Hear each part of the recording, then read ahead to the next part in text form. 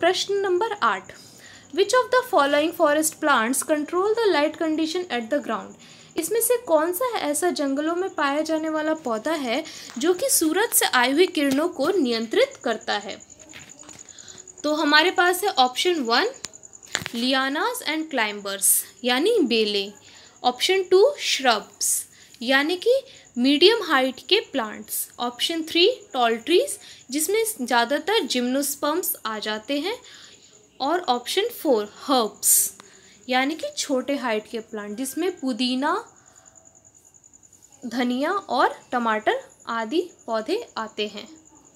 फिर उसके बाद यहाँ पे जो सही उत्तर होगा, वो होगा option third, tall trees.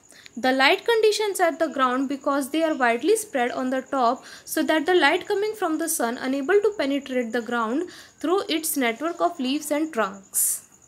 इसमें बताया गया है कि जो लंबे पेड़ होते हैं उनके तने और पत्ते गगन में इस प्रकार फैले हुए होते हैं कि जो सूरज की आई हुई किरणें होती हैं वह इनको भेद पाने में असक्षम होती हैं जिस वजह से ज़मीन पर रोशनी नहीं जाती और वहाँ अंधेरा ही रहता है जैसा कि आप इस पिक्चर में भी देखेंगे कि जो टॉल ट्रीज़ हैं, जो ट्रीज़ की जो कैनोपी है, वो किस तरह से स्काई में फैली हुई हैं।